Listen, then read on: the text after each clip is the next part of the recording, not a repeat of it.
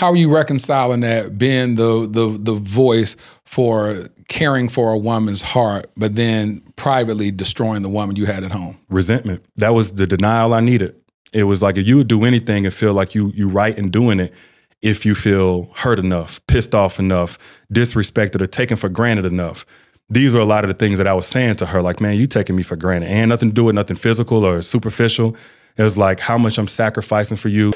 Love is a treasure chest, but once opened, our hearts become vulnerable. I, I went back to Vegas. It was this guy. He appeared as a friend.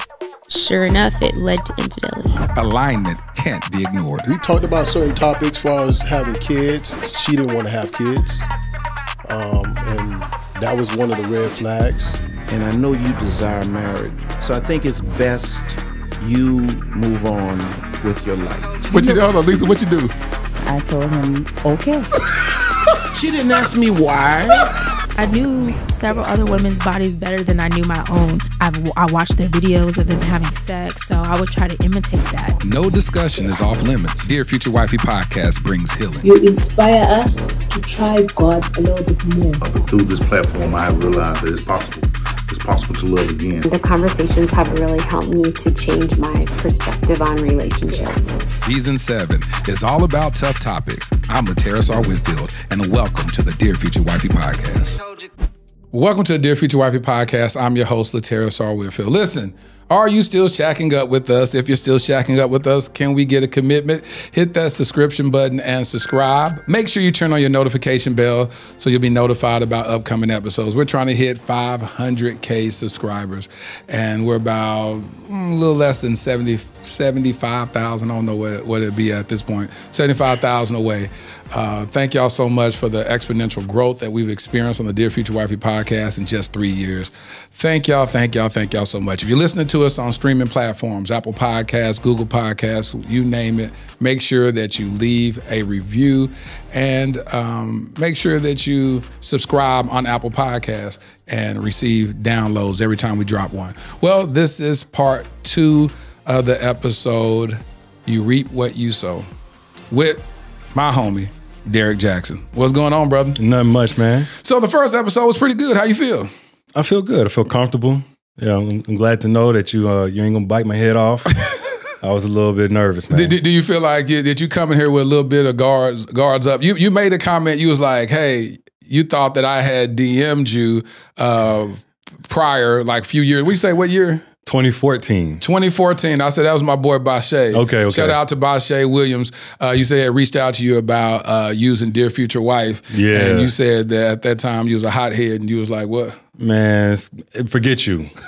Forget you. He Praise said- the Lord. He said, I'm gonna do what I'm gonna Man, do. huh? look, I've been doing it, so you ain't gonna tell me. No, Yeah. I ain't know what you was on, man. But Yeah. um, I appreciate you, darling. It's like this is a really good conversation. Yeah, that was Bashe that sent that to you. But shout out to him. Uh, he actually uh, I talked about on my previous episodes. He actually gifted me with the trademark for Dear Future Wife. So shout out to that brother. Uh, so yeah, so we're at the point in the conversation where you were contemplating calling off the marriage. What happened for you to decide to go forward with the engagement? Um, I just felt like it was too much pressure. It was like we're getting close to the wedding. Of course, the stress of that. Um, I think she was still pregnant. She was pregnant now with my baby boy, Derrick Jr. And I'm like, it's so much on the line. And then on top of that, I'm doing my thing um, in my career. So we had sat down maybe a little bit before this and mapped out a plan. Well, I mapped out a plan with her because most of the stuff that I had done from the first book to the initial whatever was in my single stages. So this is the first time we going into this chapter together, and I'm like, I got you by my side. This is what the what the play is. We're gonna do this, this, and this, and then in the next couple of years, we're gonna be able to just be in you know phil- uh, philanthropists and be multimillionaires and whatever. So at this point, I'm making multimillions in my 20s, so she already know what's up. So I didn't want to abandon You ship. making multi millions. yeah, yeah, yeah. In my 20s, I was making multimillions. Um, glory to God. So, But so that that was that was the stuff you were doing relationship and other businesses. You other had. businesses, I had other businesses out. I So still you was balling out of control in your twenties. I want to say balling out of You control. was balling. You had millions of dollars. Well, the thing about business, man, even when you got millions of dollars, there's You got a lot of IRS, expenses. there's expenses. You know, if I placed an order for, so one of my products was a date night card game. One order might be a quarter million dollars in order to get the warehouse right. And then you got trucks, you got you know uh, warehouse, you got payroll seventy thousand a month.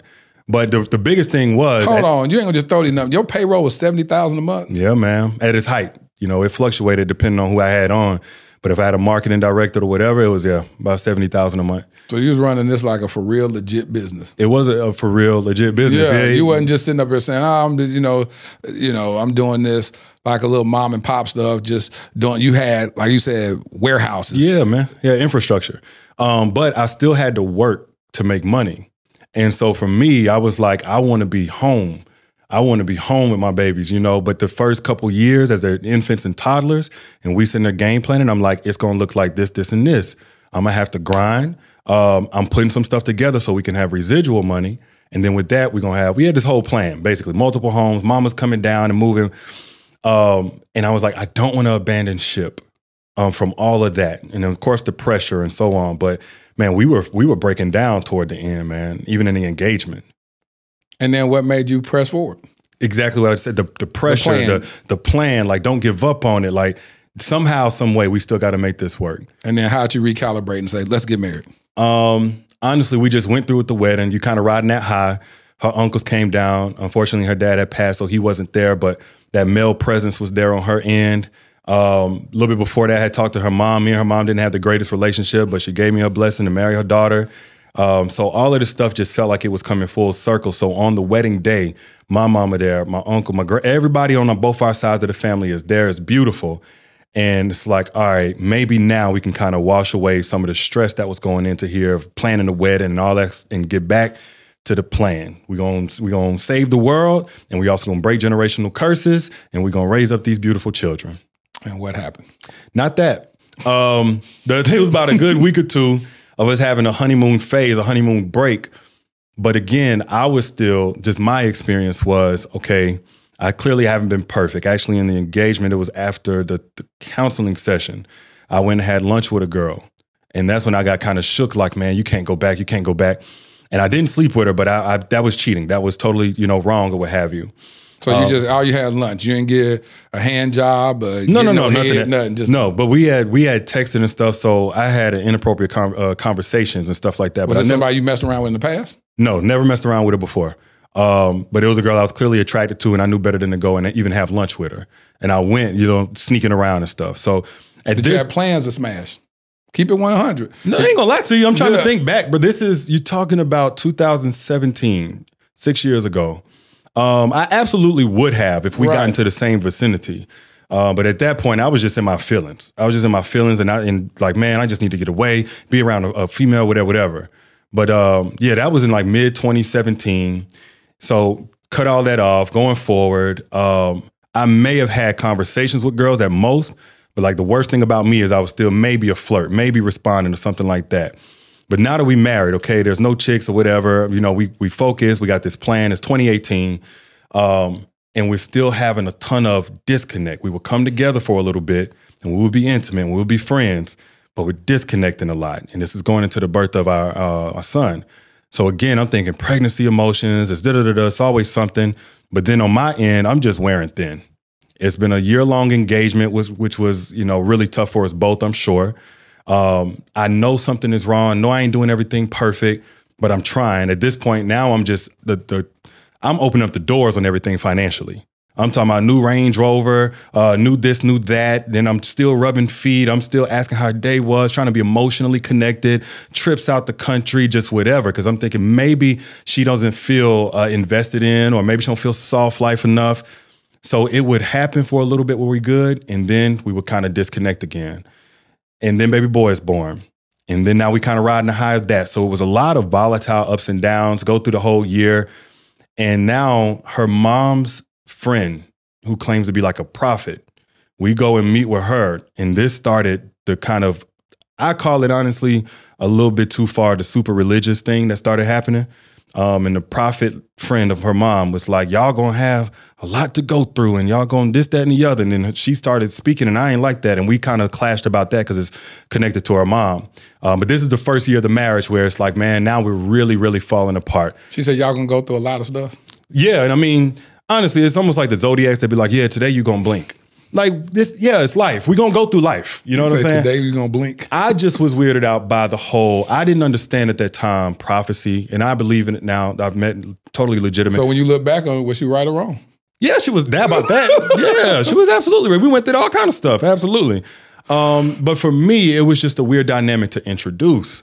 Early on in your marriage, like yeah, yeah. up for doom at the beginning. And then it started the whole what God told me and God said, and I'm like, you my wife, not my pastor. oh, she started saying that to you Yes. from that relationship. Yes. And then they formed a little four person church, which I had a different name for it at the time. What name Um, you call it? cult. Four person a cult. So so she was going to this four person church. Now she began to prophesy over you. What what It prophecies? didn't get super heavy on that until um, 2019, the actual prophesying and reading prayers off a piece of paper and stuff like that. Um, but it was 2018. This is when I got the haircut by the girl that um, I used to deal with whenever we were single. Now, me, I'm thinking it's okay, and I hope she don't feel no kind of way about me saying this, but we got to be real. At this point, I honestly thought she had trans uh, transformed, like transgendered over. She wasn't as the same person. Okay, like like definitely homeboy. Looking at the one that cut your hair. the one that cut my hair. Okay, all right. So when I couldn't get you know people to cut my hair, da, da, da, da, and this became a big deal. This was like one of the major fallouts before we really started to just plummet. Um, the girl that posted me, I was at her barbershop, but she posted me and put hearts on it or something like that. But at this point, hope she don't get offended. She looked like a boy. And I, I saw that she looked like a boy. I'm like, oh, it's all good now. Yeah. You know what I'm saying? People, this is a new age. She a man. She living her truth, his truth, what, what have you. Um, nope. Da'Naia found out about it by seeing that story. Called, I mean, Da'Naia is one of them passionate people both ways. And it's a beauty when it's a beauty. But she also knows how to hit you where it hurts, what to say to you, how to say it. Um, so she said some stuff, man. And at this point, I'm like, I've, I'm tapped. Now What I'm do? really She tapped. saw. She, what she did she call you gay? No, she she didn't call. No, she didn't call me I thought you said that because of the, the picture of the, the girl. The, she looked like a, a street hooper or something like that, man. She just looked like a like. I mean, I'm not trying to be messed up. I know, like but I'm saying I'm what did- thinking it's cool, but what she Did, what did Naya say that was like hitting below the belt? Um, she's still calling me a f boy. She's still saying I'm a cheater, and at this point, I'm not cheating. And and so again, it's not good enough to do stuff intermittently because ultimately, even whenever you look like you're doing something, Yeah, you- you you making look- your person relive the same trauma all over again. Um, me at that point, I was so heavy into defensiveness. So the moment she called me something, instead of like sitting with that and saying like, what makes you feel like? Have you been like all the stuff that we probably know to do now? that point, I'm just defending myself. Like, man, I can't do nothing right. All you do is mention what I don't do or what I do wrong. And what it looked like I'm doing wrong. But I done did it and I'm listing all this stuff I've been doing and it ain't nothing. Yep. So it started that clash because she feeling unheard, I'm feeling unheard.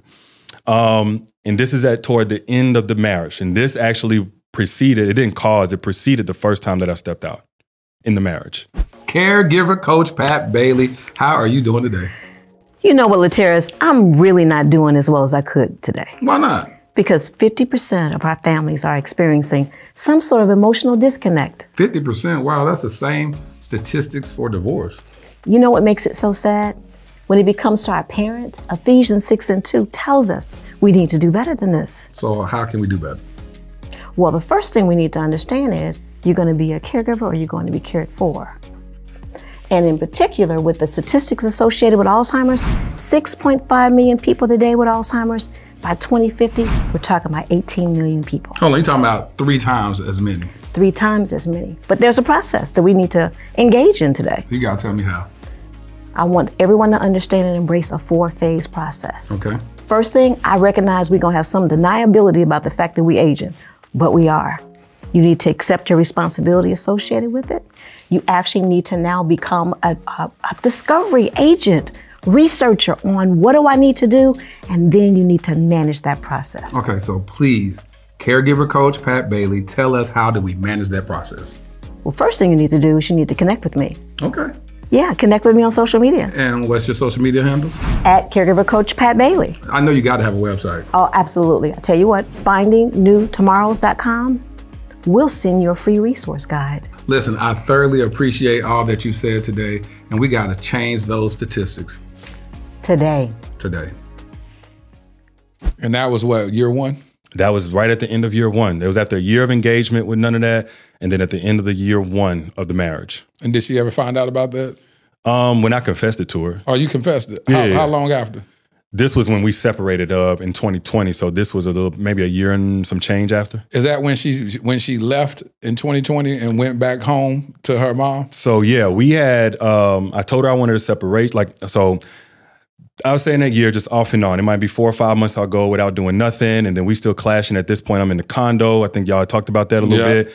Um, so you had two residences. You you that's again you balling out of control. You had this big old mansion, and then you had this condo in downtown Atlanta, right? Yeah, we always had plans of having multiple homes. So um, at first it was I'm uh, the, my warehouse, but it was too busy over there. Then I got like Airbnb. It was like a thousand dollars a night. So we talked about having a condo, and then what would it, what it would look like for her to be okay with that. Clearly, it's probably not going to be. No, no. Yeah, yeah, and understandably. But the, the thing we came up with was that she was going to have a key fob so she can get in whenever she want, unannounced.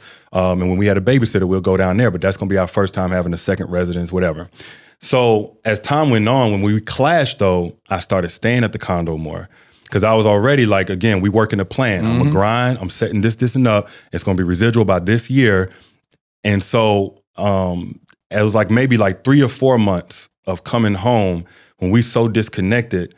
She would either be asleep by the time I got there, or in the time that I was in the shower, she would jump into bed and go to sleep.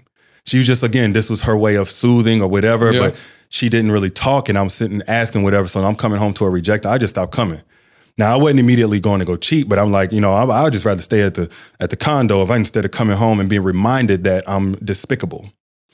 Um, and that lasted about I would say about seven eight months before I started back tripping out. Before I started back, you know, stepping out and stuff. So what you did, you said so the first time towards the end of the, uh, about December of the first year, and then you cheat, then you come back, confess, and then uh, no, no, no, I didn't confess. So that you time I- confessed towards the when y'all after we really fell out. So in 2020. Yeah. So in that time, in 2019, mid 2019, so I start tripping out. I'm like, this is definitely over. I can't do this. Um, but I remember feeling like one thing they don't really First of all, y'all got married what year? 2019. beginning of 2018. Y'all got married beginning of 2018. January 13th. So that means the end of 2018. That's when you cheated. Yep, for the first time. And then and then 2019 came around. Uh, 2019, it's like, oh, get back on track. Just you know, bygones, bygones. Forget about it. Never happened. And then um, it was about seven, eight months in where we still was having the same type of clashes. And even though I wasn't doing anything, it's like it's it's like, man, uh, I don't, I can't be around her. I can't, you know, I need my peace. You know, but it wasn't the same. Was it the same woman that you would go back to, or you, you No. went back to your old ways? because I didn't want basically always. So Yeah. my whole thing, and, and you know, it's crazy. You about to looking say if you had sex with the same person over and over again, It's gonna build up something. It's going to build up something. So you want to make it where it's We- multiple people, so it's not so meaningful. Which is is wild even thinking about the justifications and exceptions. Like, well, this ain't so bad because I ain't letting them fall in love. It's not a relationship. It's just something physical or whatever. Um, but that's exactly what I was Oh, thinking. it's real. That's exactly what I was like. And man, don't don't let it go too far with one. And then you had to mix that. Like I ain't saying you got to, but I was mixing that in with. All right, man, stop. Just like all right, I got it off. I got that off my out my system. Let's start back Get back. clean. Get back in. Get back in. And then we'll go a good couple of weeks, maybe a month or two, and we clash again. What's interesting is that y'all never completed the counseling sessions that y'all had for premarital counseling, and those same issues didn't do nothing but follow you into the marriage. Absolutely. And and so now we see the clash of the titans take place in 2020, where she said that she left, Mm-hmm. and she left, and no notice. You you basically come home, your family gone. Something like that. So what happened was I was like, enough of this cheating stuff. I'm done again. This time I'm going back in. If it don't work, it don't work. This was in like end of December of 2019, actually. I think the the maybe the first the January 1st, 2nd, something like that. And I burnt every bridge, every bridge that I had. What is looking like burning bridges? What is Burning bridges is like I don't want to continue this any further. I mean, do Um, you say that to the women? Yes. So you have a conversation and say, I'd send a text. I was sending a text. All right, you'll send a text. Yeah. Hey, I ain't finna be. I ain't finna mess around with you no more. It's Don't want to mislead you. I don't see this going any further. Um, we're done. Don't expect to hear from me. That kind of thing. And I'm and I'm tapping back into my wife, or do you say I wouldn't even say that. I think uh, at that time for those messages, I just was saying like we're done. But they knew what it was. They knew I was on the outs. We were estranged. We were in different pla- all these things. Yeah. Um. So none of them really gave me too much flack about it at that time. But for me, I'm like I, I'm I'm dipping in out of giving myself excuses. So sometimes I do, and sometimes I feel guilty. I feel like the hypocrite I was being. I feel like man, I'm leading people. I'm I'm preaching and I'm I'm counseling whatever. But I'm not living it. right? And uh, so I would, you know, the resentment had me feeling like, well, In this situation, it's different because I feel like this. I done rolled out the red carpet. I done been everything she asked me to be and more.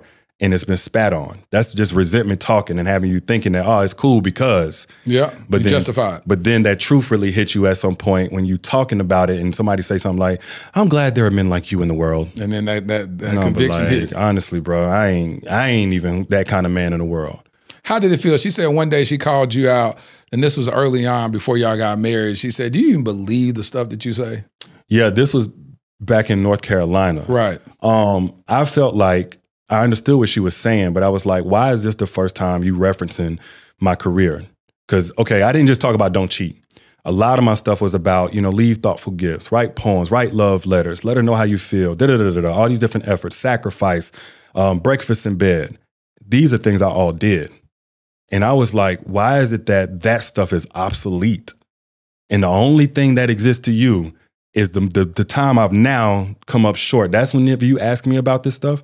Yeah, and it's interesting because, of course, that is an eraser. If I gave you a car, gave you um, Birkin bags, if Yeah. I bought you Chanel shoes and all this type of stuff, Don't but matter. I can't be faithful. She's like, I don't give a damn. You keep all this nonsense. Right, I right. want you to what you what, what's free is fidelity. Yeah. give me that. Absolutely. And at that time, I, again, I'm not thinking like that. Of course, you, I'm you- measuring myself not just by I eventually was unfaithful. I'm measuring myself by the times that I went to sleep with her in that bed knowing I wasn't gonna get none, and she turning over for three months. Yeah. So I'm looking at it now, understanding. Of but course. exactly what you said. Sometimes the good ain't worth it, you know, depending on what bad it is. When did she, and we go back to that, when did she actually tell you that, hey, I had been through this sexual assault um, early on, a couple of weeks before we met? This was in Greenville. So I didn't get the full scope for years. I didn't know the timeline.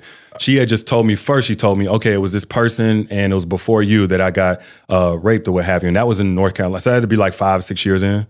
So that was the first time I had- kind she said she just kind of just said it real quick and just went on about business. well, it was kind of like in the middle of some type of conversation, some things we hadn't told each other. She revealed that. And I was like, I don't even know how to handle that. Right. We, I don't think either of us knew just how much it affected her. Of course. Um, or our, you know, our sexual relationship. Because every time I think anyway that we was having sex, I think it kind of re-traumatized her. Yep. Because especially, you know, not to get graphic, the type of, you know, affection I show and the way I way I move in that, that bedroom. And then on top of that, the porn saying, you know, Yep. this is intimacy. Yep. So um, I didn't know what she was going through in sex, after sex with me, and because of what she had gone through before. And it was always expressing in different ways. But I mean, it was me trying to piece it together like, oh, this is why I get the type of anger and rage that probably was meant for such and such, Yep. but is now coming towards me. That's real. When did she reveal like the next layer of it? You said she give you a piece here, and then when did it finally hit you like, wow, this is this is connecting the dots of all this? So after our um, sep- the separation in February of 2020, when I, yeah I woke up and the family was gone, I had been asking about seeing the kids and how could we work that out, and she she boom she jetted. Um, we went up and down of whether or not we was gonna make the marriage work. We was gonna try to anyway. And so one of those efforts later on was with a um, trauma recovery specialist or something like that.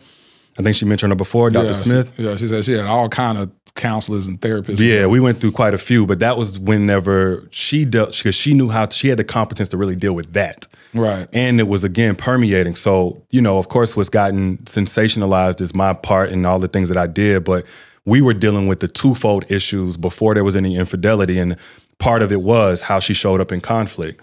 Um, that's when we went in deep, and then the therapist was steady helping me become an ally to her because I was like, I don't want to traumatize her. Like, this still a woman I love. I want to make it work and stuff, but I, how do I help her if I can help her heal?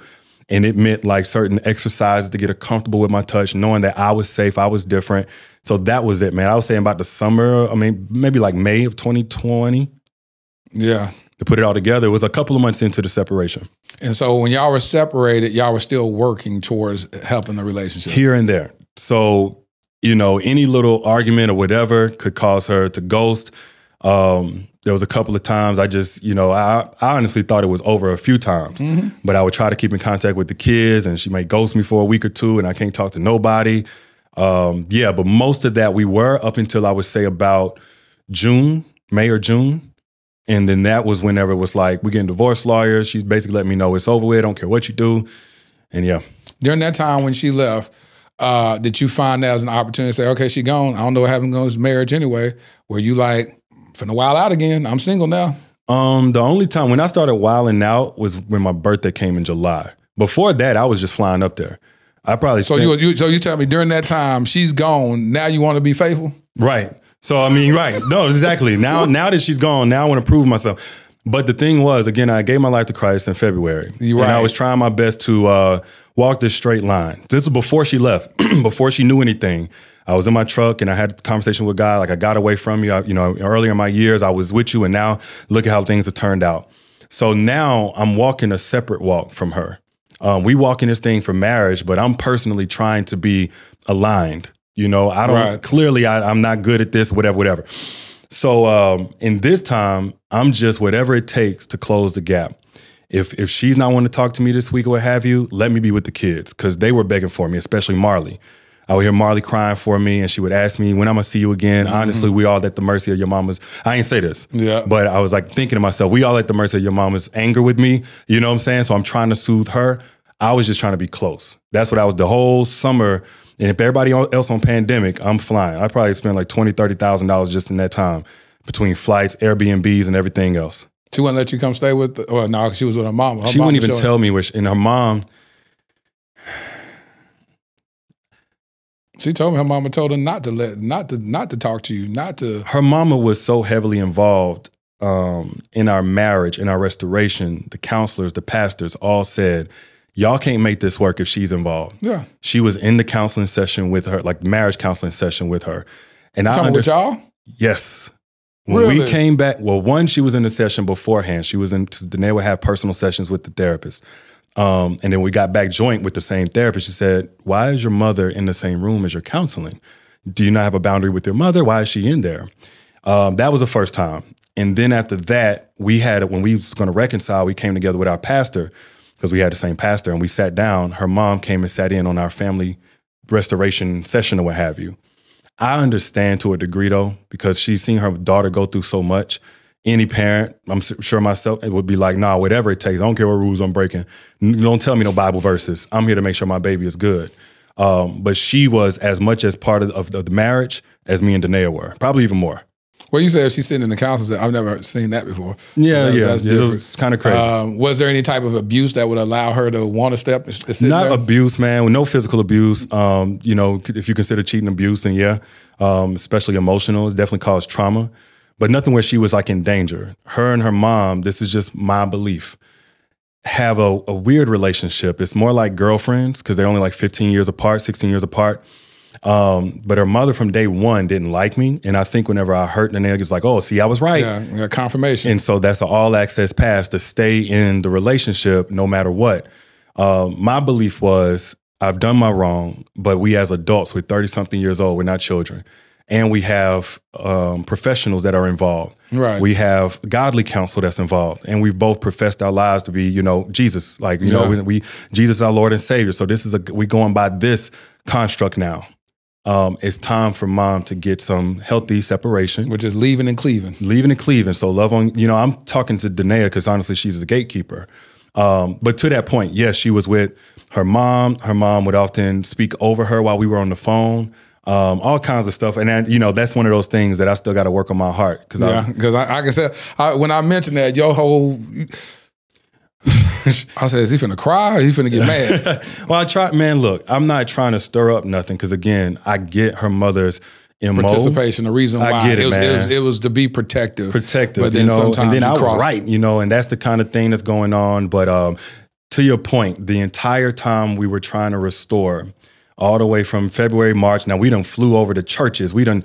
There's a lot that's Yeah, she going on. said she said that she gave you some some some some uh, a homework assignment. She was like, "I want to see you get stronger with, with with you know build your relationship with God, get some accountability around you, um, um, be more present in your kids' life because you got you so you know like most men they get to working and doing all this type of stuff. That she said she wants you to be more intentional on spending time with your kids. And I think there's one other thing. Are those true those those three things. to a degree. It wasn't to spend time with the kids, um, and then we kind of had a little back and forth about that because I love spending time with the kids. Um, if you if they're ever around us, you'll see they gravitate towards me because I'm pre- I love my kids, and that was the whole plan is to get back to where we can both be in. But yes, for a time, I'm gonna be away from the house Yeah. most of the day.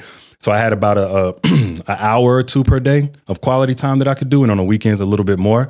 But what she was, what I understood, what she was saying, because I don't want to speak for her, was her saying, "I want you to do some of the things with the kids, like wake them up, get them to school, Oh, okay, pick the them daily up." the daily task. And we we had a little bit of a beef about that because I'm like, hold on, You you you you work from home. I mean, I guess she was working, but she was a stay at home wife. But then she would help you on some back end stuff. You saying that's your role. You got the time for it. Let me go hunt. It was a, it was a plan, Yeah. and and the plan wasn't just that she be because that's a hard job. Yeah. you know, two young kids, two under two.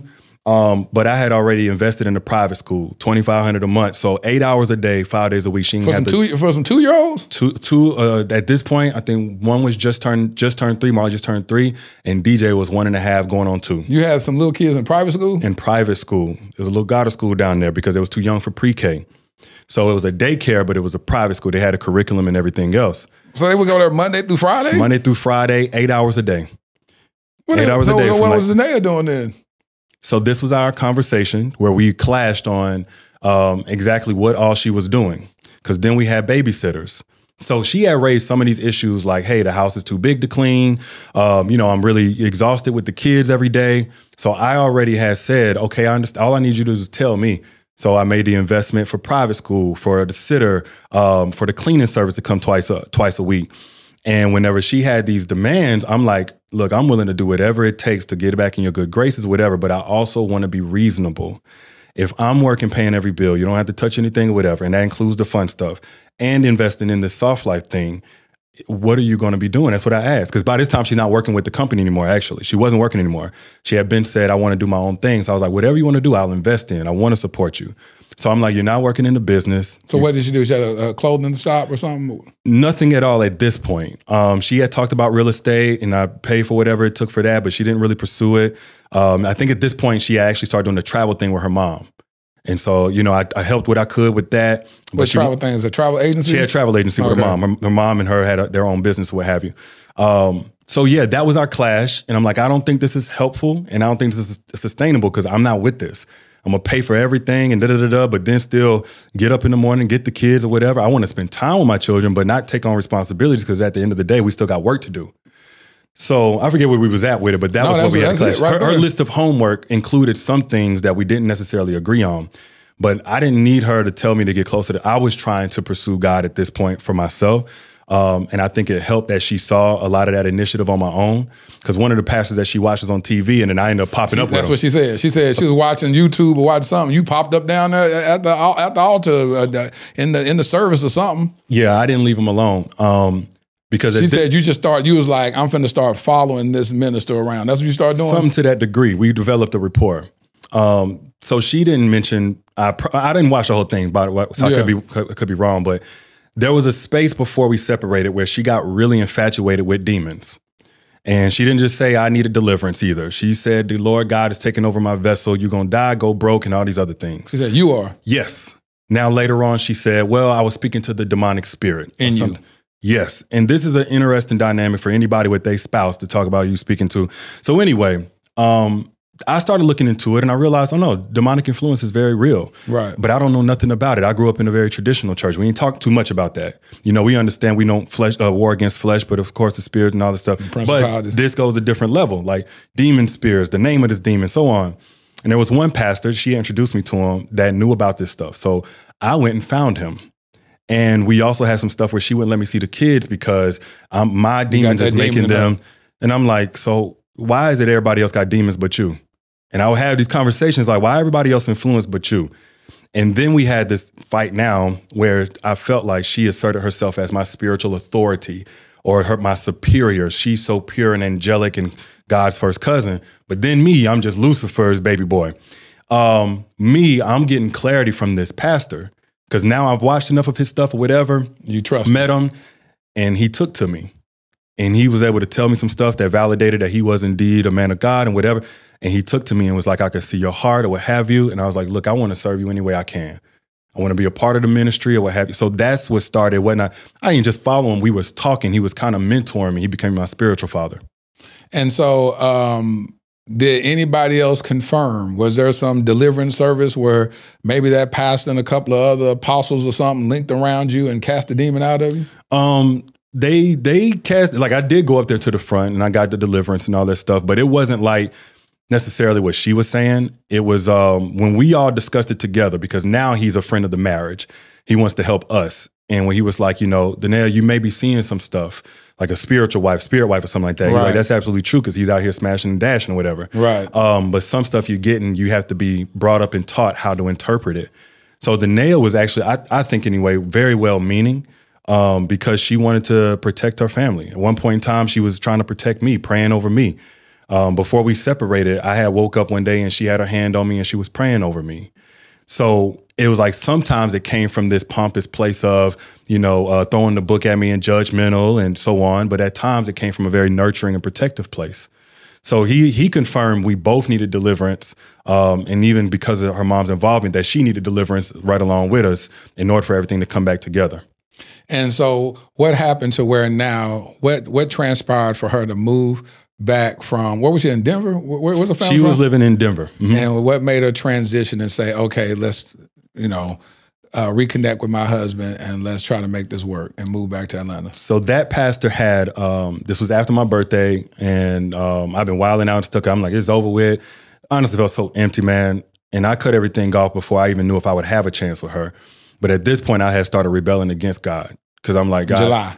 This was in July, February 4th. I gave my life to Christ in the truck, and um, it's like, all right, tomorrow. I, I was. It was for different reasons. I didn't want to go back home before that, but I was like, tomorrow I'm coming back home, and uh, we're gonna make this work. We're gonna thug this out the, the the God way. Yeah. And that's whenever I came back to she was gone. I was like, the day after I gave my life to Christ, things started going here.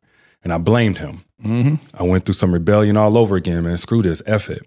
So anyway, that was the end of July. I was like empty. I'm like, man, I done rented out yachts and I done did all this money spending and these, you know random girls I'm kicking it with. Um, I don't even know them or like them. So Uh, just being real, like I don't even like you, like you know what I'm saying. So I was like, man, go on somewhere, man. And uh, you know, before she before she said anything, I again burnt the bridges. I'm so off and on. But August comes around. I think it was August, and my spiritual father was going to have another event. I had stopped kind of being around him for a little bit while I was in that stage. But I was like, I need to go over there. So that stage was just the month of July. I would say June into July. Okay. Yeah. So February, she, she leaves February, right? February, give your life to Christ. The next day she leaves, you start trying to get your feet in Christ. Uh, you start, you find that once you connect with the And I spiritual went head first into it, man. I made friends with pastors. I reached Willie Moore Jr. I was Yeah. reached out to him as a man of God, and I was like, man, what group are you a part of where y'all stay on the straight and narrow? Yeah. And they didn't know anything about any of this. Yeah. I was pursuing this. I'm like, I don't want to.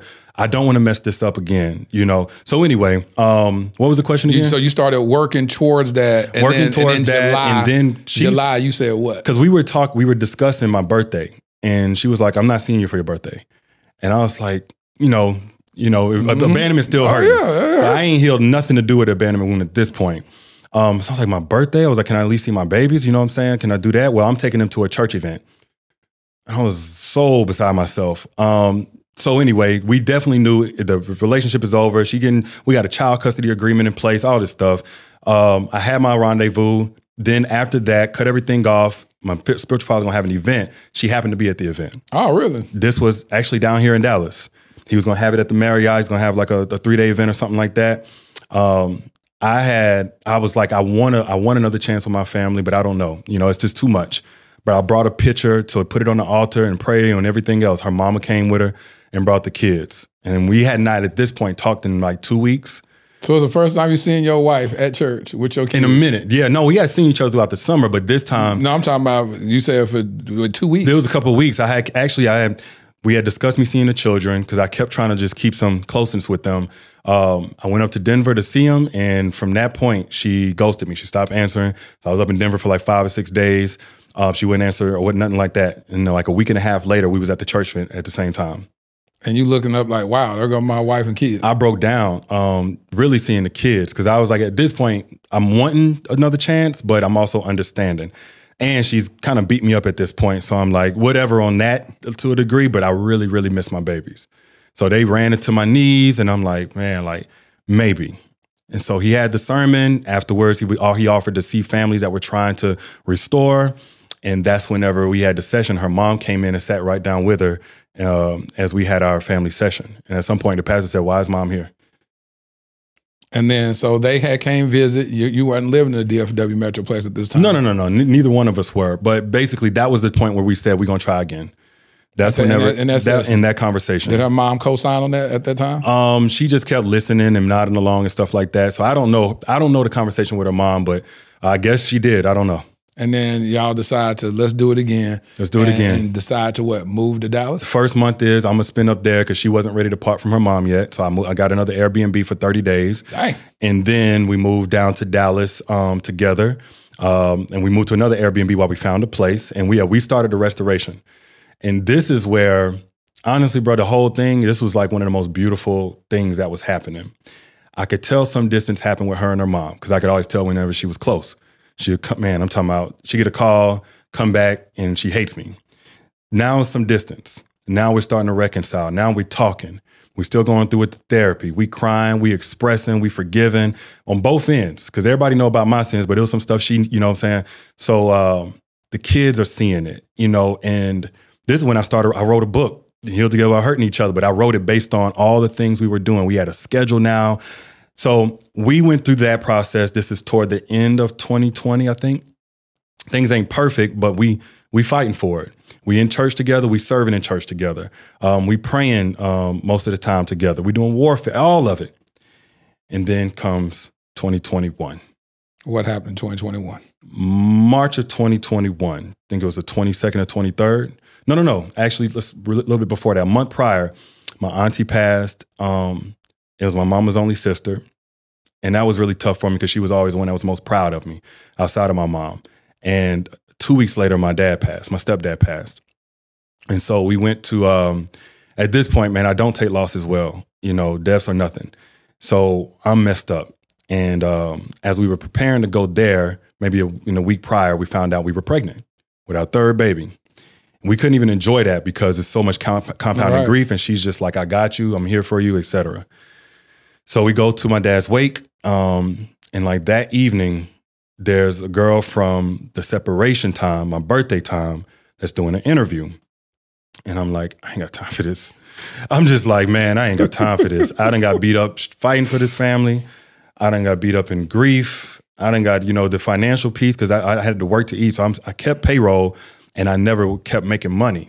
Because at this point, I'm just all family, all Christian walk. So now my finances are starting to look a little funny. Um, and then this. So that night, we kind of put it away. My, my dad's funeral, my phone is blowing up. I had to put on airplane mode, all this stuff. And I'm like, I got to face them. Um, I got to face them. They, Who was the them? them being the people that supported me, the public. Because, you know, of course, I didn't talked about this and da da da da, and here it is. I, I knew at some point I would talk about it, but I didn't plan to talk about it until our family was stronger. You know, I, I would say that that that that's pretty darn impressive. That out of all the dirt you did, it took that long for somebody to say something.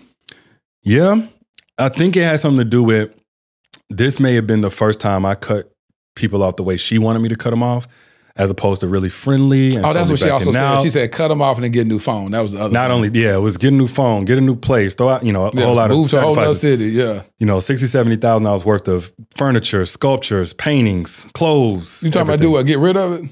Throw it away. I wish I knew you. Don't sell it. Don't give it away. Gosh, I wish I knew you. But What no, you talking about? You just throw it away. I know you gave it to some people. It was one or two things I gave away. Because when my family found out I was going to throw away all this expensive stuff and sculptures and stuff, they was like, "No, we're coming up there." um, but most of it, no. I literally had to show her I was cutting through my custom Oh, because she's talking about the spiritual stuff. she had been hitting me with all of that stuff, but I was And you like, really tore that stuff up. I did. You talking your clothes and everything. It was a show of good faith. Because even though I didn't agree with her, but I was like, you've seen enough actions of me trying to do it my way. And it ended us up in this situation. Last thing I'm gonna do is still assert myself as the authority on how this is- needs to make you comfortable. So if she's saying it's triggering her, I was like, I'll give it up. Because so your family came and got got some. some of my family came up there. It was like, nope, we taking this, we taking that.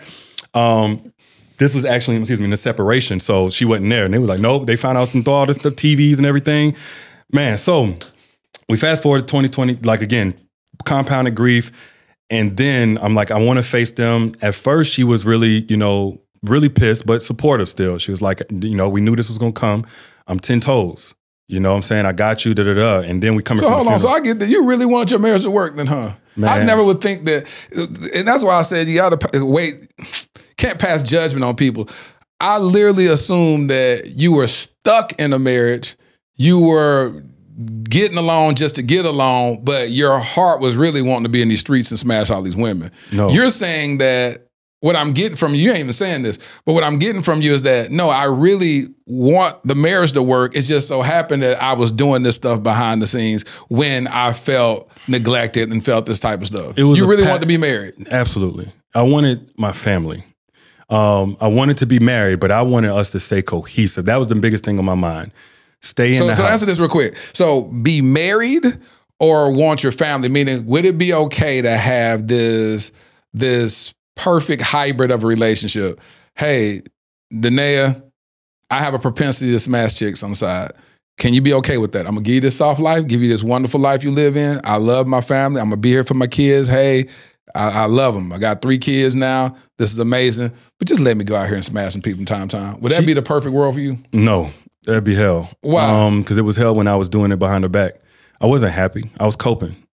Um, she actually offered up for me to be with other women. And I think this may have been after she saw something on my phone but hadn't told me. But she said, you know, what if I just allow you to have other women? And I- And I was like, I thought it was an opportunity to talk. I'm like, no, I don't want other women. I want things to work between us. And even as I'm looking back at it, really, bro, that sh- it still shouldn't have come to that because I was reacting. You know, she don't, we not doing good or whatever. Instead of being accountable to the principles of the marriage, my vows, I was accountable to how I felt. And that was again a part of this long pattern of I'll be good so long as I feel good about you and how we doing. But the moment I don't feel good, screw it. So you tell me a perfect situation for you going getting remarried again is a woman that says, I believe a man, because I've had women come to me before. Women have come to me over the last couple of years, and when I've spoken uh, about infidelity in the past, I have women come to me and be like, because it's not normal for a man to be faithful. So let me tell you something, Terrace, if you choose me as your wife, you can go smash women on the side. It don't matter. That don't bother me. As long as you taking care of the household, as long as you don't let that mess come to my doorstep, I'm cool with it. But the reason why I personally can't do that is because I think you're speaking to the, not think, I know you're speaking to the lowest version of me. That because of my faith and my relationship with Christ, I can't operate like that. But then a lot of times men will say, well, look at the men in the Bible or whatever. I understand that. We're not in that time. You know, I know they had multiple wives, they had all this type of stuff. That's when people ar- argue uh, polyamory and, and polygamous. But I was like, that's that's not me. I know, like you're about to say, what you touched on, what that did to my soul. It it grieves my soul. So my question to you is why couldn't you just do that with your next wife if you decide to get married again? Um, the variety of vagina never pulled me. It wasn't like it was more so physical. It was emotional. I was soothing whenever I, I slept around. Um, that I had when basically like this. Okay, so when the times where I was faithful, like I might spend six months here, eight months here, whatever, three months. When I was happy, I curved girls that most guys would do anything to get next to. But it was when I was unhappy for an extended amount of time, I would at least open the door to have conversations and start there. And then it would go all the way there. Um, a perfect world for me, man, because I, I don't mind the same vagina over and over again. When I'm in love, it feel, it feel new to me every single time. I was fine physically, and I mean, this is why we stay connected in that way. There wasn't a complaint there, Right. And I want to be respectful to her as a woman because you know she's not my person anymore, and I'm you know somebody else's wife eventually. But that wasn't my complaint. Um, my complaint was how cold it felt, and, and honestly, I used to say it. I felt more lonely and single than when I was single. I, in the relationship, just that rejection, that was just the way that she coped and did her own thing. But that was the part I really wanted. In a perfect world, I didn't feel that. Now, in a realistic world, as a man, I should have had better coping strategies as opposed to coping with women or anything that was going to compromise my vows. I should have I should have been equipped and prepared more to deal with that or to leave if I was just so unhappy. But I didn't take that responsibility. How are you reconciling that being the the the voice for caring for a woman's heart, but then privately destroying the woman you had at home? Resentment. That was the denial I needed. It was like if you would do anything and feel like you you right in doing it if you feel hurt enough, pissed off enough, disrespected, or taken for granted enough. These are a lot of the things that I was saying to her, like, man, you taking me for granted. And nothing to do with nothing physical or superficial. It was like how much I'm sacrificing for you, da da da da. But one thing I didn't understand, man, is she wasn't experiencing that. She she was it was like it's kind of like when, if you ever been down on yourself, like man, life is so bad because you got into it with whoever, but then you got to really think like, nah, man, my kids is good, my roof is over my head, I got blood in my, I'm, I'm alive. So it's like objectively, some things are true, but you're not experiencing it based on Right. what you done focused on. And what I didn't learn to way later was that she never experienced all of these things that was on my mind that I was personalizing that she didn't appreciate. So in a perfect world, man, like it's just I, I, one woman. That's what I want. And the last couple of years of the marriage, that's what I stuck to, no matter how I felt. And I know she, and apparently the world feels differently. Um, So but- you really, so you really, so you saying right? When you say the last years, well, we'll we'll get to there. So you get this lady, she does this interview. What did she say in this interview? I didn't watch that interview either. Why Um, when you wa- how could you not watch a video of somebody talking about you and everybody? I was broke down, brother. I was at my limit. I had just lost two very important people in my life. Um, I already had jacked up my family and we were trying to get it back together. I got a baby on the way. The finances is tricky because I can't even work consistently. Um, Da'Naia at that time, like she was still healing a lot. So I had become the primary parent for the two chil- the elder children. They went to the gym with me. I did get them up and brush their teeth and put them to bed and all these different things, taught them and resolve conflict. And so there's so much pressure on me just as a man. And then throughout that process, because I was the wrongdoer, all of my feelings were obsolete. And now it was okay. Like, screw how you feel. Yeah. You hurt her. And so I felt, you know, even more invisible. This goes back to the first counseling session we did, feeling invisible, to childhood. It's like, man, I'm repetitively feeling alone. So as we coming back, and I know they done did, I'm like, I can't even, I can't think. I can't think straight. We get back, and I know I'm gonna face my audience instead of, you know, being further more cowardly than I already had been. Cause no matter what, I wanna walk according to what I think is the right thing to do. Um, I faced them that night, but I only talked to what I did in the separation. I didn't tell them I had cheated in the marriage as well. So I was like, again, I wanna do this, I wanna do this again.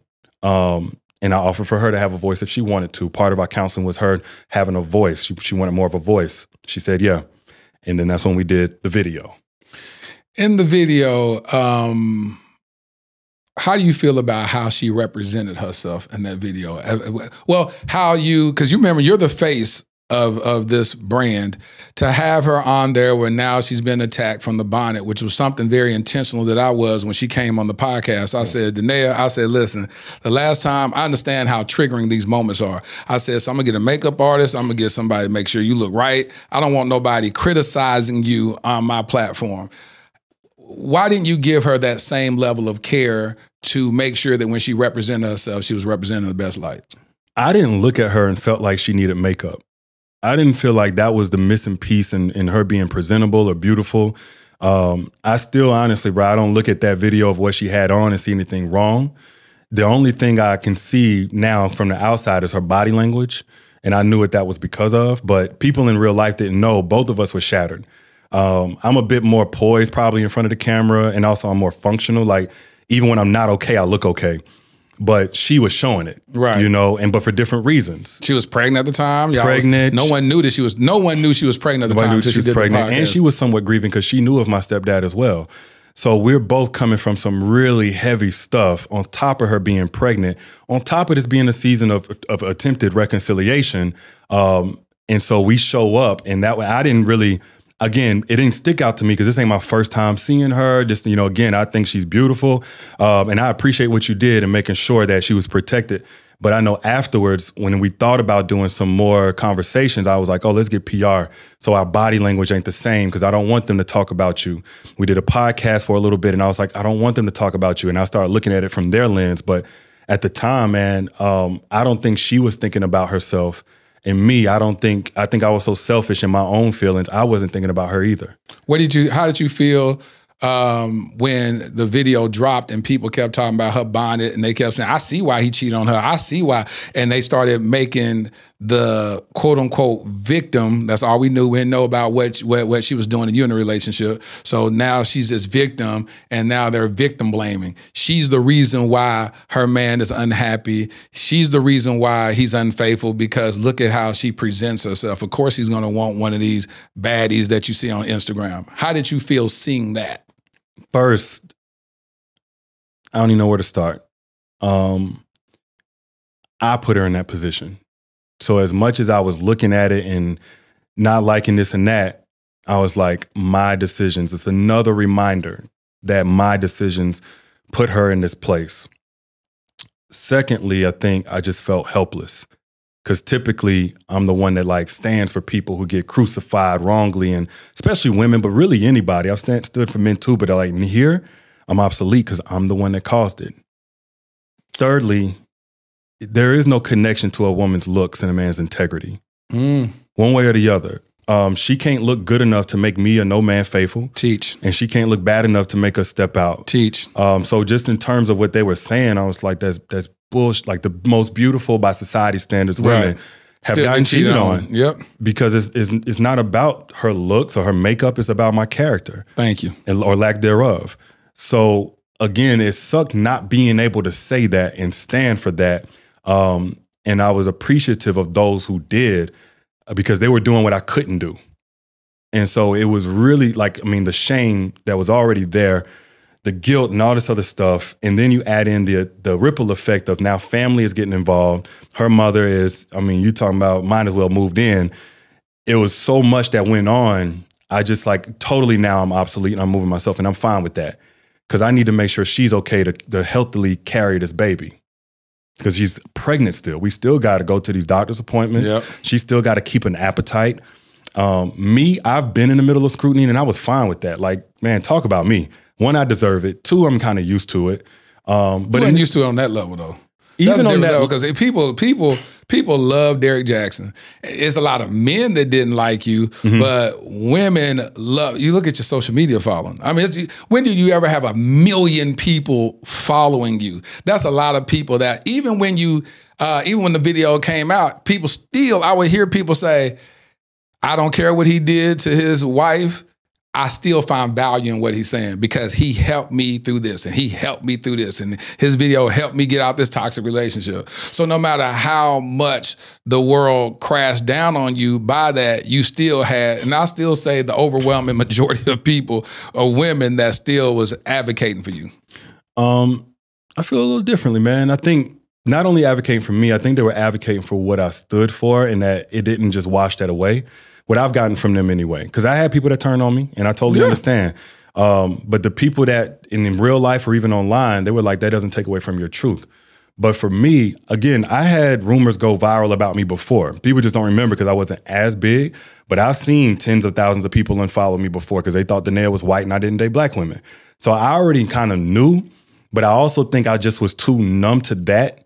Now, this is the first time that scrutiny is coming to somebody I love or somebody close to me because of me. Right. So that was my whole attention went to this is a new experience for me in that regard. Um, that she's not built like that. Right. You know, she ain't used to this and she wasn't supposed to ever have to get used to it. Um, so what was going on in my mind is just the lowest feeling you could probably imagine. Even with trying to tune out social media and everything else, her coworkers, her mama, her whatever, had to see her relive this trauma. Um, and people making talking points because people kind of forget we both human Yeah. You know, and they could forget I'm human, but I'm like this girl that y'all go from protect black women to ooh, look at her bonnet That point. and music videos and stuff like. I mean, it's so Yeah. insensitive. I'm, I'm, I'm wishing I could say something, but I'm still the cause of it all. So it's guilt, shame, helplessness, fury, anger. Um, some people that I thought were at least somewhat friends making jokes about it. And it gave me a perspective, man, that like on some level, my platform had probably done the same thing. You know, when I talked about people and, you know, especially holding them accountable, I always thought I did it with a level of of of, of ethics and, you know, I'm, I'm trying to at least be constructive here. But ultimately, I was making a lot of people's wives relive their own trauma. And if anybody's listening, you know, I was wrong for that. I want whoever I've ever talked about to understand that that was wrong of me. Um, But that gave me a perspective I never had before because I saw I saw her trying to shut it out, but her phone blowing up. Yeah. You know, friends and stuff is concerned. Is she okay? And understandably, but it was overwhelming. When you look at um, what made you record the video, I know you said some of your followers sent the video to you about analyzing yourself, which I thought that that was when you look at that and you and you hear somebody talking in third person about themselves, they consider that textbook narcissism. Mm-hmm. What in the world would possess you to do a reaction video to yourself? Horrible, horrible decision making. I was like, why would you do that? Horrible thought process. So for me, whatever I'm going through, my MO has been to just work through it, get up and go do something. But at that point, I'm the biggest conversation. And I was like, this is not something I stand by. But I was like, how am I gonna talk about everybody else, but I don't want to talk about me? Dumbest decision. Because out of 800 videos, the one that I do in third person is the one that confirms I'm a narcissist. you're a textbook narcissist. Textbook narcissist. It's third person. And we all have a PhD in narcissism from Instagram. Yeah, we all got it from Instagram, YouTube. So I was like, well, that didn't go as planned. and uh, I took and it then down. on top of that, Derrick, at the very end, what do you do? Promote I product. probably did. I don't even. I probably did. He was like, and I have this book that I had come. I, I- said, this N word. Right. The show must exactly what go I said. on. This N word just sat there and did. What is wrong with this? the dude? most detached, uh, not reading the room moment probably in, in my life. hmm And so when you, so what kind of pushback did you get from that? Um, just the same. It was for me, and again, it's not trying to be arrogant. It's just like for whatever's coming my way, I know how to, for the most part, block it out. You know, my whole career has been about you know being being able to ignore naysayers. This time it was legit though. You know, it's something Yeah. I really did. I really disappointed people that believed in me. Um, but regardless, so much was going on in my life. I couldn't access how I felt about that. Yeah. And then you're also still processing the loss of your uh, the the father that you knew. Um, eh, eh, you know that's your father. Call him stepfather, whatever. But he's been there all the time. That's the your only father that I knew. Yep. And um, you know, my family's still processing it. My cousin got shot in the head about a month or two after that. It was just, it was like in, in I was saying about three months we had four deaths in the family. Uh, my uncle had died while I was at my auntie's funeral. I know it sounds What? like this don't even make no sense. While we was at her funeral, my uncle had died. Now we didn't really like him that much. So I, I mean, I, my gonna why I'm sorry, but I ain't like him that much. So that one was a little less impactful, just knowing that you supporting your family who cared about him. Yeah. But the other three were really tough. Um, but it's like, man, I can't be a victim, and my children need me. I can't fold. I put everybody in this situation, and I wanted to fold. I had the gun on my lap. I wanted to fold. I wanted to be out. you contemplated suicide. I was I was on my way to pulling that trigger. But Marley came out. Um, they were getting ready to go somewhere. Marley saw my my tail lights on and said, "Ooh, Daddy's here! Daddy's here!" Because I was out of the house for a while, and she came and jumped up on the door right at that moment. Are you in a car Yeah, I was in my truck. I was just doing it in my truck. in the driveway, in the, in the garage or something? No, it was in the driveway, um, in a little cul-de-sac. So after that, I was, you know, kind of scared by how close I got to it. I'm like, I'm not telling nobody because of the shame of I did this and whatever, and I don't have no voice because I'm the bad guy. I'm the big Mhm. bad wolf in everybody's eyes now. Um, the resentment in the house is tenfold. Um, I can't stay, say enough about it. But one thing we had talked about was that I don't typically let nobody into my internal struggle, and I needed to do that. So I I talked to Da'Naia about it. Now this we not in a good place here again, and I talked to her about it, and she kind of stonewalled a little bit, just didn't have much to say. But that's when a little bit after that, um, I decided I couldn't do the marriage anymore. This was in 2021 because she was laughing about it with her mom. That she was going to commit suicide? She was laughing about it with her mom. I, I got wind of the conversation. Um, this was after some texts I saw. She was still talking to her mom about the marriage, which wasn't, I mean, like, who can't forgive after all the forgiveness I needed, you know? But this one where I was like, not that she's so bad, you know, in this moment, but it just made it clear how far away from me her heart has turned. Did you divorce her? Did you say you wanted a divorce by text? Yeah. At that time, we, and anytime we tried to talk, especially if it involved her mama, she either ended up yelling or she stonewalled, like blank face until I got done talking and had nothing to say. Learning therapy, her like she witnessed that about her mom yelling at a man, whatever. I never did, but I didn't do well with no yelling. So I knew this is to do with her mom, and I told her, "Hey, not only do I, I I can't do this anymore, but this unresolved issue with your mom is a reason why." I don't know if she mentioned that or not, um, but a lot of people don't know. It had nothing to do with infidelity as far as why I decided I needed to leave. It was because we has talked about restoring the marriage, but we pastors, counselors, over and over again be catching that she had talked to her mom or brought her mom into the marriage, and her mama was very intent on staying in the marriage, giving play by plays of how to disrespect me, you know, or whatever. Um, at this point, it was like I already checked out. I've been in the guest room over a year. But if we're going to give this a chance, you got to just set the boundary with your mom. You know, I ain't going to put words in your mouth. So I told her, but just let her know you love her and you appreciate her support, but you're committing to this and you need her love to look different.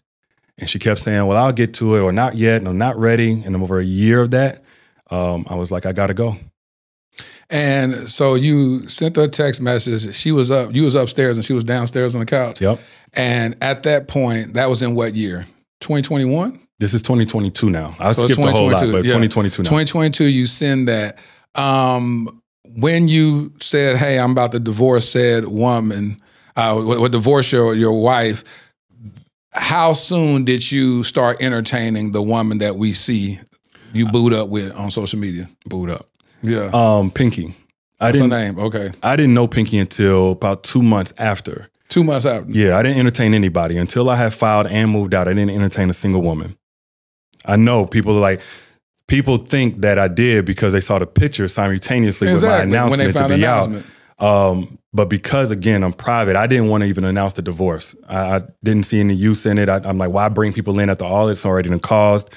Um, but then when I went down to Miami, I had been moved out now, and she had already did the video praying against folks, and you know, that kind of thing.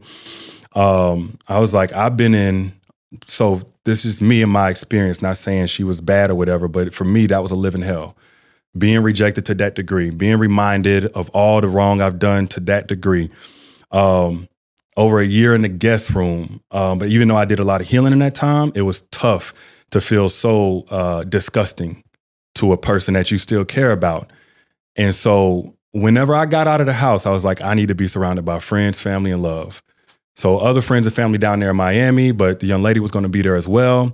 And um, yeah, man, we just enjoyed Art Basel, and that's people taking pictures. And honestly, I didn't care because I was like, y'all don't know my life. You know, I don't want to live under the shadow of what people could think even though looking at it is kind of careless. Yeah, you like I'm with a whole woman. I, at least make an at announcement. Least in the, at least in the public eye. Yeah, sure. make an announcement. Me and my wife respect our privacy. We have decided to dissolve our marriage, and then whatever they see you at that point on. Yeah, it is at what that, it is. At that point, it was. um Again, this ain't no excuse, man. It just I'm just living and learning in real time. Of course. Um, there's some grief there with the kids because we also getting ready to go into Christmas, the first one without the children and then also actually divorcing is still painful. Even if you grew apart, you don't love the person no more it's romantically. No matter how you look at it, it's a death. It's been over a year since I started that detachment, but I still was feeling some of it. Um, but ultimately, I was trying to be rebuilt up. I didn't went around feeling like the world's greatest big bad wolf. I wanted to be around people that loved me and cared about me. And yes, some of that included feminine energy that just at least liked me as a human. Right.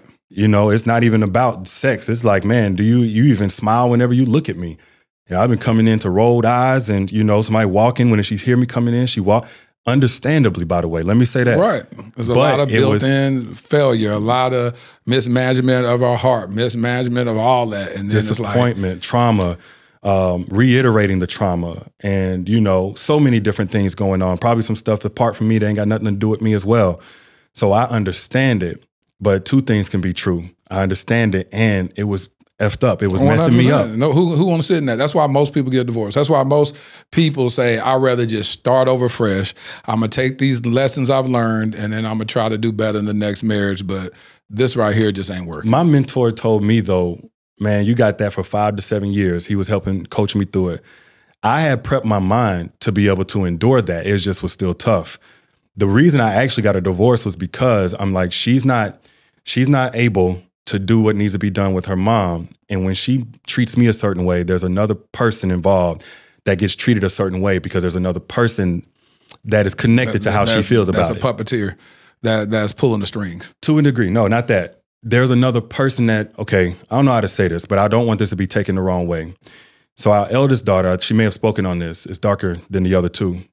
Oh yeah, she said that. She said she didn't used to like that. She she she said she didn't like that daughter. She had a lot of resentment towards that daughter. So me, like in the house as an infant, as a toddler, because she's saying it, and I don't think you might un- not understand like this what is- it looked like in real in time. real life. Oh, these are I- I- experiences. I, can imagine what it looked like. So, um, me, I could often intervene or kind of settle things out because I know that she loves that girl. I know that she loves her children, but it was affecting their relationship and how she treated her, or how harsh she was, or how she talked to her. And I uh, got that from what she's saying. She's saying that when somebody says that they don't like their child because the dark skin of this child reminds them of the type of women that you preferred, then It's a different level. It's a and different I didn't understand it, but I again with Grace, it's just like, you know, even she's saying she's trying to work against it. So, all right, you know, family business. We're gonna work through this. But I'm the one that saw the one, the two year old go for affection to their mommy and get turned away while the other two light skin or the other one light skin at that time child gets all the love and affection and the dark skinned child to see that. I'm the one that hears our dark skinned child say things reflective of how she feels mommy feels about her. Um, so when as everything was in a stagnation or regressing, it wasn't just me getting pushed away or treated a certain way. Yeah. And again, I, I really hope people just tr- approach this with compassion because I don't think any of us manage all of our emotions perfectly. of course not. And she's done a ton of sacrificing for every one of those kids. And I just need to say that because she's not a bad mom. Right. Um, but I said the longer that I stay in this space, knowing that she's not going to do what I need her to do, um, and that therefore that's, that stunts her healing, our reconnection, the longer she's getting put through that, the longer the kids are getting modeled, the disconnection, the resentment and tension remaining. Um, I don't know if she was talking to her mom at that point, but without her making that stance and saying, we committed over here, we were not moving forward. So anytime she got triggered, anytime I put whatever, she that it, it was two people receiving the brunt of that. And somebody had to draw a line and say no more. I can respect that.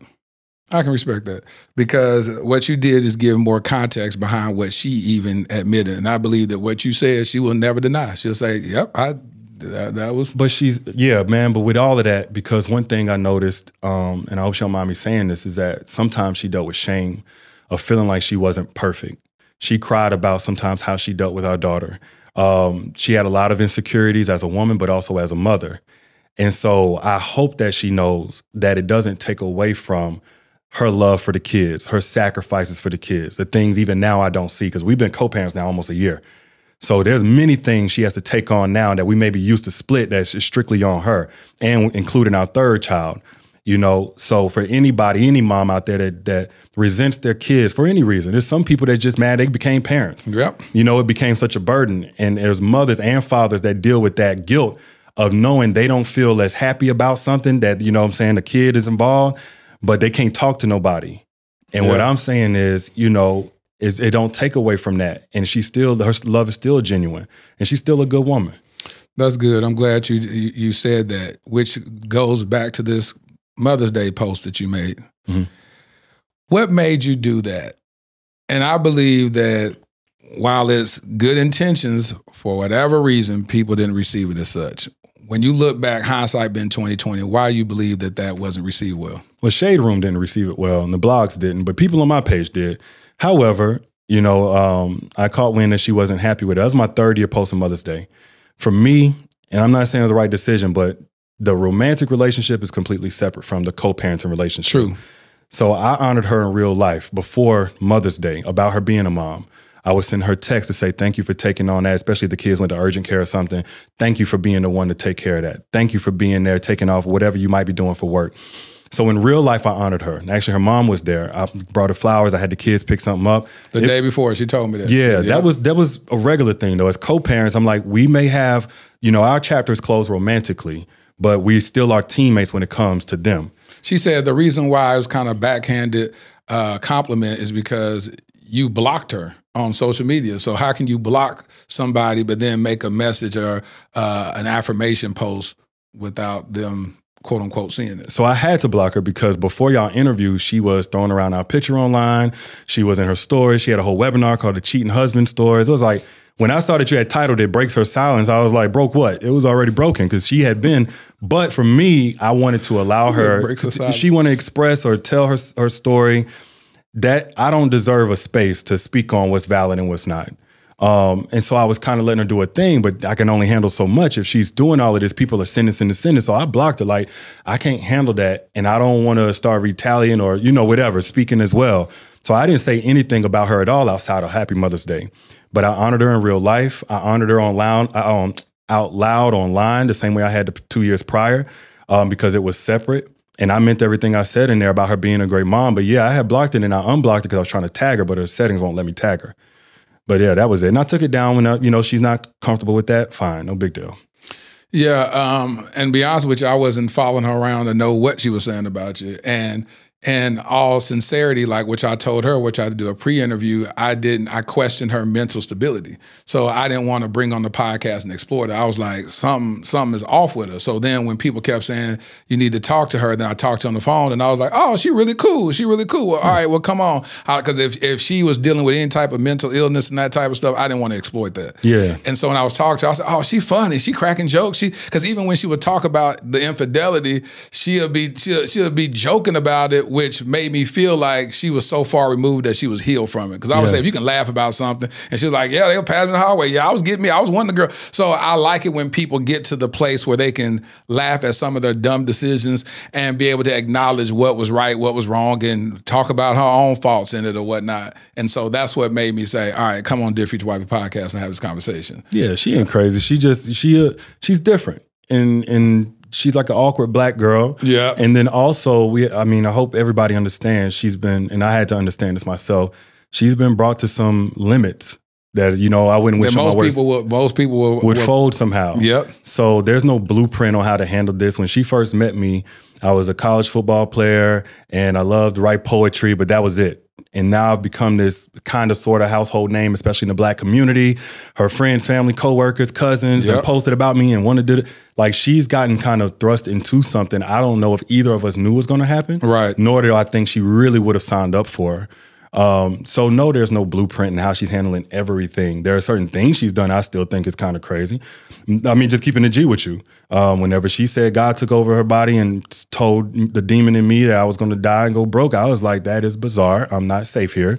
But the girl ain't crazy. What, what do you think about when she made the post that you was talking about about people who speak negative about you that God was going to kill their kids and everything else? I was confused because she wouldn't talk to me still.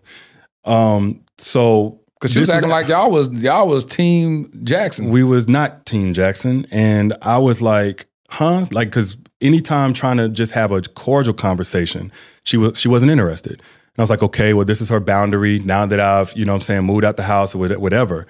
But then when I saw that, I was like, you would think we were still Yeah. married, and she got my back or whatever. And how I've kind of made sense of it now is maybe it was just kind of a little bit of both. Maybe it is I don't rock with you or whatever, but maybe she was treating it as because we're legally still married, or maybe she had some hope or something like that. She's not gonna just cover me in prayer. She's gonna cover uh, she's gonna cover herself in prayer, but me as well. And that's warfare prayer, man. Like I understood it, um, and that's light compared to what I've gotten in real life. That ain't got that was PG. That was safe. That was Barney. Well, it offended a whole lot of people because he was talking about killing their kids and God's going to do it. So I said, I know God loves you. What I looked at it when I saw it, I was like, I know God loves you, Da'Naia, and God loves Derrick. And y'all are all his kids, but I promise you, if he didn't just start killing people for killing his own son, he sure ain't gonna kill him for for, for talking bad about you and Derrick. But she learning, man. She um I mean, you want a war in the spirit. Yeah. You want to speak against those things that are trying to operate against God's plan for your life. But I think that, you know, like she's just still sharpening that. But she she meant well. That's all. And so, um, y'all are still y'all still going through a divorce now. Is the divorce final? No, we moving along as fast as we can, but it's still a process. And no, so legally we are still married. And um, do you desire to get married again? Absolutely. Why? because I don't think your past has to dictate your future. I don't think just because you failed at something, maybe you were the one that sabotaged and jacked it up like me, or maybe you just was a wrong, you got done wrong and you know you endured it. But I don't think we have to look at how things went in the past at any point and say, never again will we ever have a chance. I still value marriage. I still value family. Um, I understand some things now I didn't before. Not only understand, I've prepared differently and I'm, I'm preparing going into it again. But when the time comes, I ain't in no hurry Right. but I want to make sure when God aligns my person, you know, she gets the best of me, and you know, we don't repeat the same issues as the past. When you um, do you look at yourself as being single now, even though you're legally married, Yeah, yeah. and so you move like a single man? Um, to a large degree, I'm I'm moving like a single man who's focused on his children and his um his healing and personal growth. So, you know, I may spend time with people I wouldn't normally spend if I was in a marriage, but um, I'm not developing anything towards nothing. Um, I got my focus really on my kids because, like, again, we've been co parents for the last almost year. And it's them who didn't choose to be a part of any of this. Anything you want to leave uh, the audience with? What would you What would you like to say? What's on the heart of Derrick Jaxn? and what would you like to say? Whether it's to matter of fact, I don't even want you speaking to the women. I want you to speak to the brothers that may be in the same situation as you've uh, been in. Feel like you know they've tried, they've uh, mismanaged their marriage, cheated, whatever. What would you say to those brothers that, as they always say, "Well, he can't tell me nothing," when we've been in them shoes before? Um, first off, you're not alone. You're not alone in how you cope. You're not alone in what you struggle in. You're not alone in that guilt and shame. You're not alone in feeling unheard and unseen and like you don't matter. You're not alone in feeling like, you know, you're just about being a good behavior and everybody wants you to do right and don't nobody care if you're okay. You're not alone in feeling like, you know, your woman can use her intuition to see if you're cheating, but she ain't using that same intuition to see if you're at peace and if you're happy. There are other men who feel the same way. I felt the same way. And let me also say, it's not always somebody else's fault. I don't even believe in relationship problems as much as I used to. I believe we have internal problems that we bring into a relationship. So for everything that you're feeling, even though you're not alone, your wife, your girl, she ain't the enemy either. She ain't the cause either.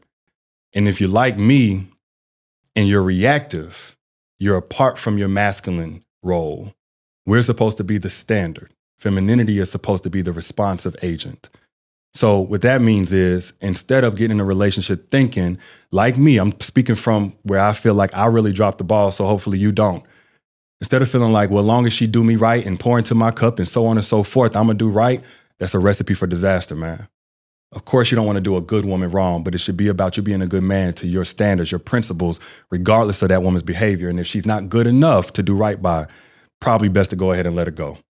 That's not me preaching. That's me hopefully trying to reach somebody you know, who still has a family and you have the opportunity to keep that intact, or you have the opportunity to keep it from suffering such humiliation and such damage before, you know, it eventually fizzles out. Um, and honestly, I will speak to women as well as men. No matter what decisions you've made, if you've been the villain like me or the victim like I have at times as well, don't let that define your ambition going forward. You may have messed up, but you still have you have value to offer this world, and you got value to offer somebody in love. So maybe you was a part of a pattern like me, and you stepped out, and that's the big sin. But maybe you had a pattern of sabotage. Maybe you had a pattern of overreacting, never trusting, closing down. Whatever your pattern is, it doesn't have to be your future. And that's for any woman that done chose the wrong man over and over again, endured the wrong thing over and over again, or any man that's endured the wrong thing over and over again, or chose wrong, etc. That's all. Derrick, you know some Giftings are given without repentance. I'm telling you, you you got a gift for this thing. You really do. You have a gift, and and I, am just listening to you. And the reason why, and I text you when I um, did the episode with Da'Naia, and I said, "Hey, listen, this episode is going to drop. I'm gonna keep you lifted up in prayer because the the thing that I'm trying not to get emotional the worst thing that I want to be is the catalyst that sends another person, a brother, a human being on o- over the edge. And so I'm sensitive to my to the giftings, the the the platform that God has given me. And so I'm sensitive to the fact that even though this brother, because the thing about it, and I'll, I'll level with you, if I had a platform when I was at my worst point when I was married, mm probably would have looked at like like like people looked at you. It just so happened that I didn't have the platform when I was cheating on my wife. Now, of course, I could say, well, I wasn't also over here giving relationship advice or whatever. But I'm saying if my worst day was televised, how would people look at me? If our worst day is publicized, how would people look at said individual? And so I offer people the same grace that I know that God extends to me. And so I text you that day and I said, listen, brother. I want you to get your healing. I want your family to be healed. I want your family to be restored. And I want you to know that I'm praying for you and I love you. Because at the end of the day, you still my doggone brother, no matter what. Mm-hmm. And then when I found out that you're a brother in Christ, you really my brother.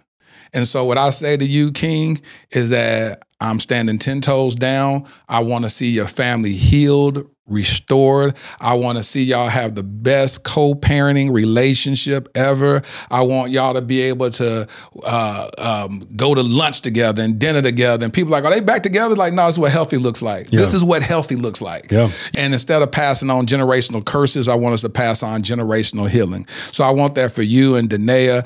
Uh, I pray that God continues to heal those beautiful uh, kings and queens that y'all raising up so that they could see a healthy relationship, see what healthy co-parenting looks like. Absolutely. Um, and that's what I want for y'all. That's what I'm praying for y'all. Matter of fact, I'll just end in prayer. Heavenly Father, I lift up the Jacksons before you right now in the name of Jesus.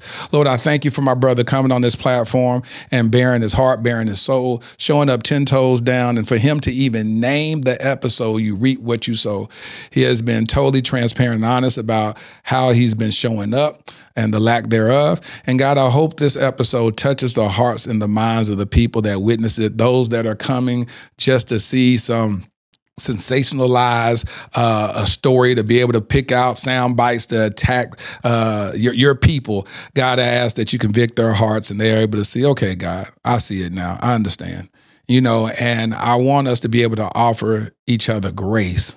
Grace god and we thank you. We thank you for uh, their relationship, the even the demise of the relationship. We God, we thank you because all things work together for the good of them that love God and to the called according to your purpose. So God, there's also a lesson in this.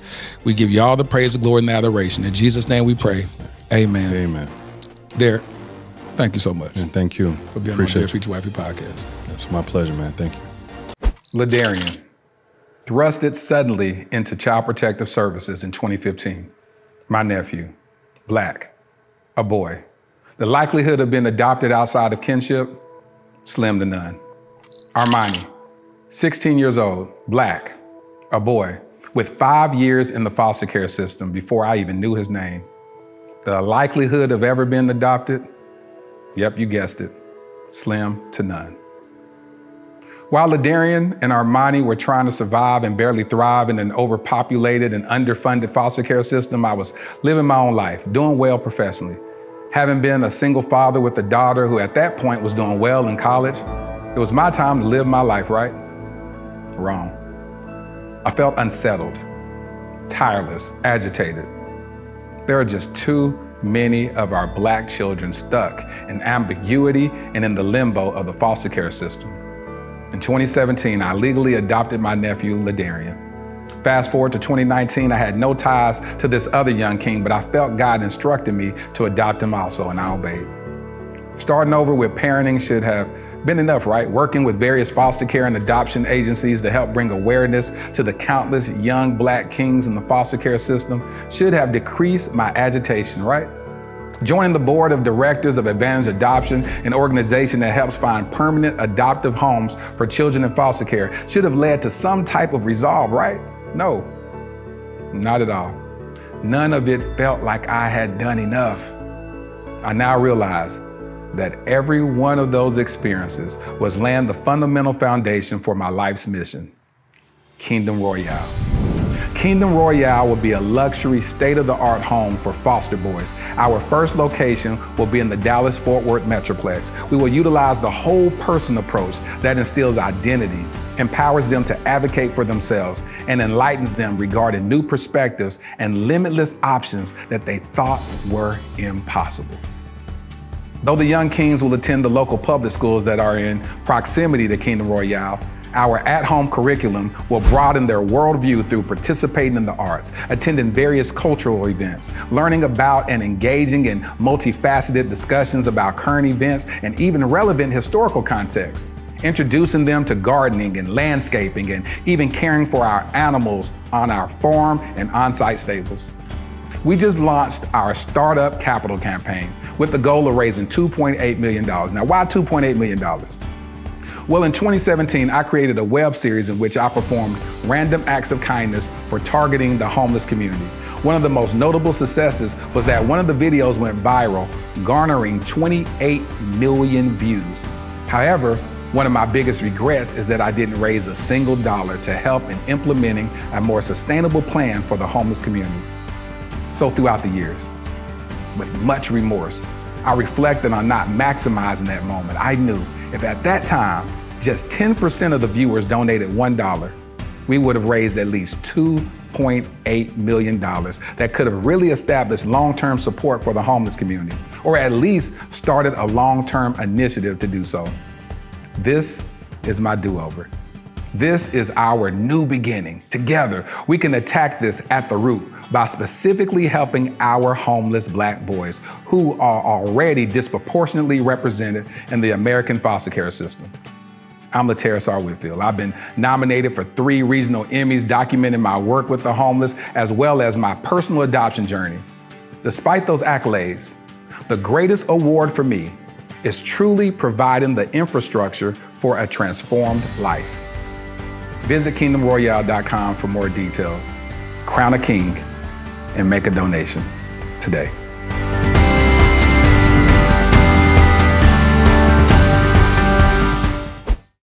I know a lot of y'all may have your feelings or opinions about why I decided to interview Derrick Jaxn. Well, I believe that the Dear Future Wifey podcast was or is a platform that curates conversations that allow a safe space to be created. Um, this is the season of tough topics. What better guest to have than Derrick Jaxn on this season? And so I thank y'all, those that were able to stomach these uh, two episodes, because a lot of y'all were saying, I'm not going to watch it, but I know curiosity killed the cat, and y'all decided to watch anyway. Thank y'all so much for rocking with us. Um, it's interesting. You know, I'll call Da'Naia, talk to her, ask her, you know, fact check some things um, through her, find out what was a what was the truth, what was the lie um, were just a misrepresentation of one's experience. Because sometimes people have an experience and not realize that that didn't quite happen like that. And so is what it is. But listen, uh, I thank God for the opportunity to allow men to share their hearts. If this episode triggered you, if you have been um, entangled in the web of narcissistic abuse, I pray that you find healing. I pray that you get therapy and counseling so that every mention of the word narcissist or any uh, introduction to a person that has those characteristics doesn't trigger you, that you can actually listen and engage and say, that's what I'm not going to allow myself to get involved in again. Um, to my understanding, Derrick has not been diagnosed with narcissistic uh, disorder, um, NPD. Um, so we're not going to just throw labels around. I do believe that uh, he's just has been a very manipulative person. Um, that's what he's been in the past. Hopefully, he's been delivered, set free from that, and aims to do better in his life. Can't do nothing but hope for the best. So there's that. Uh, to any victims of, he talked about suicide and how he was very suicidal to those who uh, may have struggled or may are struggling with suicide ideation. I pray that you get help from that. I pray that you go through therapy, get counseling from that. Um, those that may use suicide as a manipulation tactic, I pray that you find other coping mechanisms. Um, you know, I just pray for healing and restoration for us as a people, um, not just black people, but just people, the human race healing, restoration. I serve a God that is a God of redemption. So that's what I'm believing for. Well, here's my favorite part of the podcast where I speak to my future wifey. Dear future wifey, I will honor you in speech and actions. I will consecrate my flesh daily to kill not only the spirit of infidelity, but even the propensity to make any fleshly decisions that will impact handling your heart improperly. Our marriage will require work, but we are equipped to handle it. We are also wise enough to lay our burdens at the feet of Jesus and humble enough to consult the couch of therapists. I come against the spirit of pride before it takes root in our minds.